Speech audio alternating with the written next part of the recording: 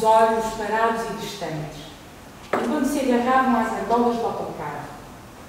Outra vida melhor, sem ir e vir, sem andar a correr, sem olhos para isto para aquilo, livres, livres, livres e independentes, para então se mexerem e apertarem os seus braços juntos, os postos horizontais.